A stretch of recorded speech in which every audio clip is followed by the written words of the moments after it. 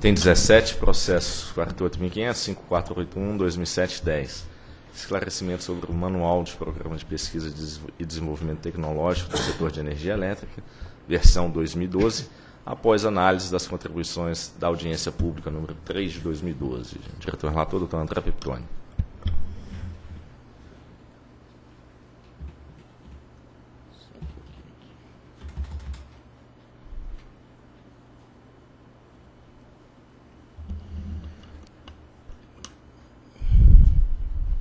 Bom, esse assunto, senhores diretores, ele já foi deliberado umas três ou quatro pautas atrás e ficou faltando apenas a manifestação a respeito da ROL, onde iríamos alaquar a ROL, se no manual, no próprio manual, se no manual de contabilidade, em função até de umas ponderações feitas com muita propriedade pelo diretor Romeu. Então, a, a proposta hoje é me deter apenas, única e exclusivamente, a questões da ROL, o que passo a fazer a partir do parágrafo 31 de meu voto. Receita operacional líquida ROL. A lei 9.991 de julho de 2000, com suas alterações posteriores, estabelece que as concessionárias e permissionárias de serviço público de distribuição as concessionárias de geração, as empresas autorizadas à produção independente de energia elétrica e as concessionárias de serviço público de transmissão de energia elétrica, todas elas são obrigadas a aplicar anualmente percentual mínimo da receita operacional líquida em projetos de pesquisa e desenvolvimento tecnológico do setor de energia elétrica, o consagrado PID, segundo regulamentos estabelecidos pela Agência Nacional de Energia Elétrica. A base de cálculo para a contribuição com o P&D é a receita operacional líquida da respectiva entidade responsável por sua realização. Mas é de se observar que a lei não apresenta definição do que se deve entender por receita operacional líquida ou ROL.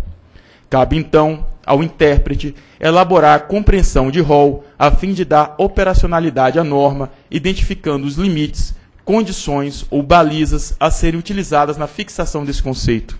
O Supremo Tribunal Federal, o STF, já teve oportunidade de se manifestar em situação análoga. Refiro-me aos debates relativos à noção de faturamento originalmente utilizada no texto constitucional para fins de instituição e cobrança da COFINS e do PIS.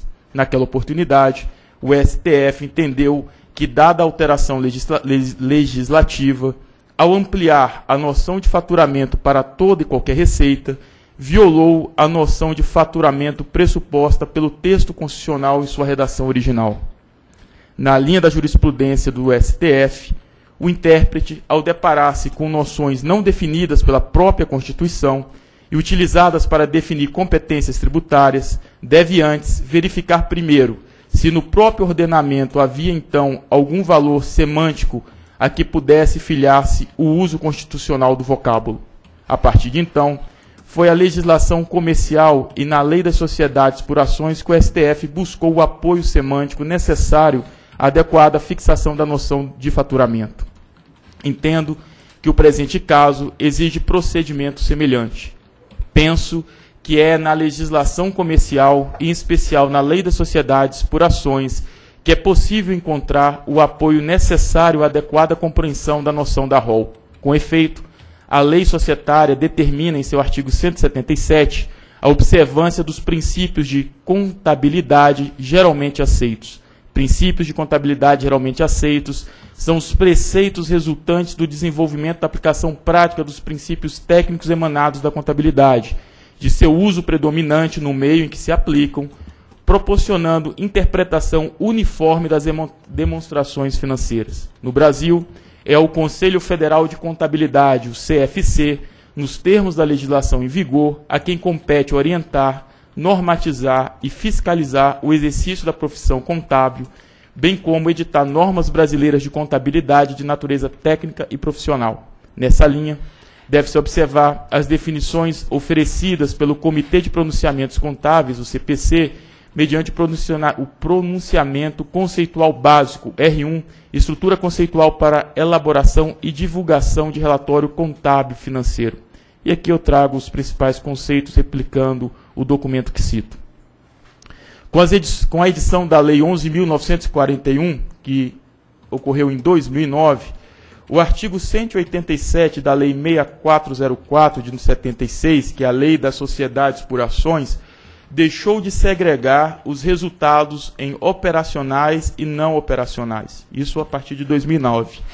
A partir de então, e como visto acima, os normativos contábeis fazem referência apenas à segregação das atividades em continuadas e não continuadas, usuais e não usuais. Assim, passam a ser reconhecidas com, como receita e despesas operacionais os ganhos ou perdas que decorram de transações que não constituam as atividades ordinárias em uma entidade. Portanto, a noção de receita operacional engloba as receitas das atividades principais e acessórias do objeto das empresas.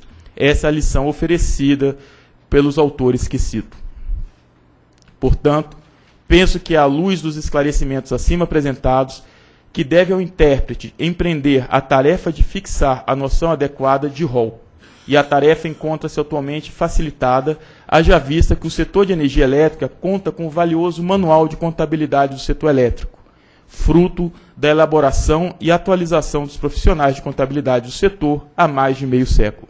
Com efeito, o Manual de Contabilidade, aprovado pela Resolução Normativa da ANEL, a 444, em 2001, com suas alterações posteriores, estabelece, além das instruções gerais relativas à contabilidade setorial, o plano de contas do setor e suas respectivas técnicas de funcionamento, de forma a padronizar as informações contábeis elaboradas. Do referido plano de contas consta no sistema de resultados o subgrupo 611, receita líquida, integrante do subgrupo 61, resultado operacional, formando assim a receita operacional líquida, a ROL. Alinhada com tal disposição, a Resolução Normativa 316 de 2008 com as alterações da Resolução Normativa 408 de 2010, que aprovou o Manual do Programa de Pesquisa e Desenvolvimento Tecnológico do Setor de Energia Elétrica, versão 2008, dispõe em seu artigo 5 que a base de cálculo das obrigações de P&D é a ROL, apurada de acordo com o Manual de Contabilidade do Setor Elétrico, e aqui eu reproduzo o texto da norma. Ocorre que, no item 2.3 do Manual de P&D versão 2008, aprovado pela mesma Resolução Normativa 316/2008, é prevista a possibilidade de realização de algumas deduções da ROL.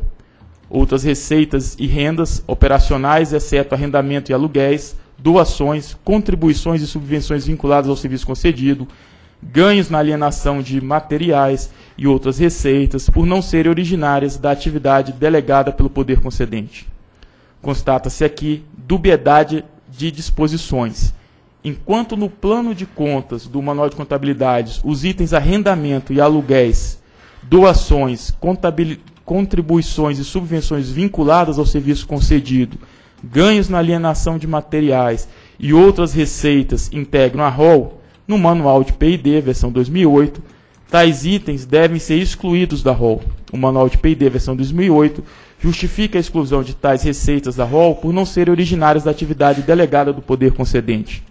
A contradição leva à conclusão da experiência de duas ROLs, uma nos termos do Manual de Contabilidade e outra nos termos do Manual de P&D para fins de P&D, o que não me parece adequado. É que, conforme visto acima, a Lei 9.991 de 2000, com suas alterações posteriores, definiu que a base de cálculo das aplicações de P&D a receita operacional líquida sendo relevante para a sua formação, que os ingressos constituam receitas e sejam operacionais, sejam eles originários ou não da atividade delegada do poder concedente. Não há na lei definição de rol para fins de P&D, carecendo de aprimoramento a definição constante do atual manual de P&D, a versão 2008, ao admitir exclusões que transcendem o próprio manual de contabilidade. Não foi outro o entendimento da Superintendência de Fiscalização Econômica Financeira, que, perfilhando o mesmo entendimento, registrou na nota técnica 354-2012 o quanto segue, e aqui eu vou ler pela pertinência.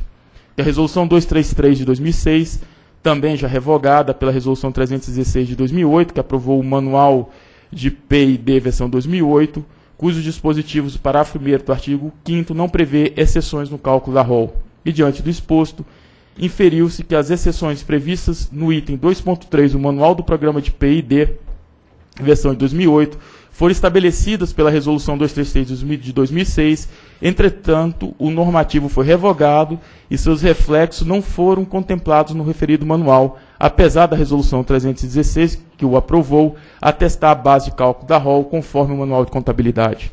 Ou seja, a dissonância observada entre o comando da Resolução 316 e a disposição contida no manual por ela aprovado consiste em texto, então, compatível com a resolução anteriormente vigente, que era 233 de 2006 e que não for excluído do manual na revisão em 2008.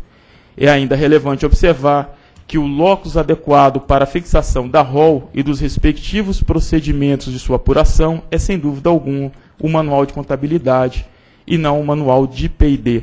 Haja vista a própria natureza contábil da questão, Salienta-se que eventuais aperfeiçoamentos na definição adequada da rol sempre são possíveis e, caso necessários, devem ser feitos via manual de contabilidade.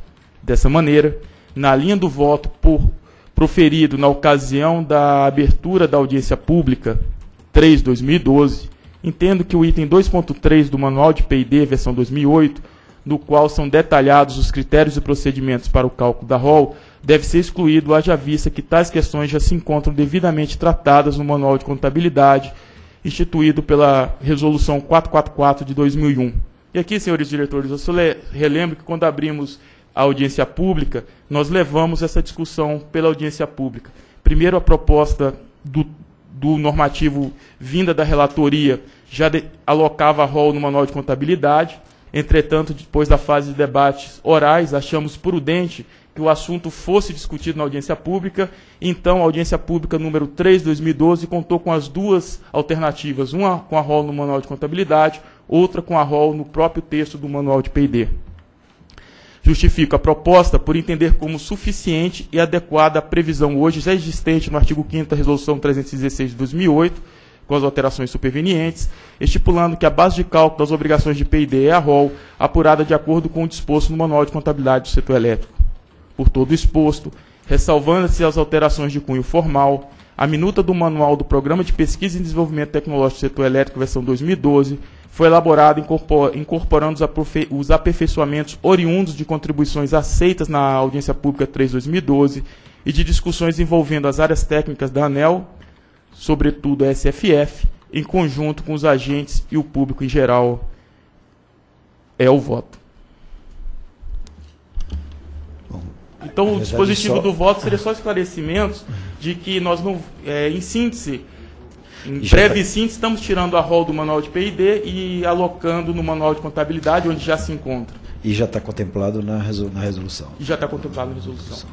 Então, só isso, não temos que manifestar. Não sei se o doutor Meu até que levantou, se teve que atendido, né? Acho que não, acho que está né? tá bem atendido. Acho que o doutor André aqui fez, inclusive, uma abordagem bem ampla que conceitua de maneira apropriada. E a minha, minha uh, dúvida naquela oportunidade era se era adequado remeter isso, salvo engano, tinha uma proposta de ser no manual de fiscalização, de auditoria, alguma coisa assim. Entendia eu, e aqui está corretamente contemplado, que isso deveria estar contemplado em algum regulamento, que sem dúvida está é, tá correto, porque o Manual de Contabilidade já conceitua que seja rol e lá é a fonte que eu acho mais apropriada para buscar esse, esse, conceito. Então, estou de acordo. Ok, então está encerrado. Isso já está esclarecido e colocado na resolução já de forma apropriada.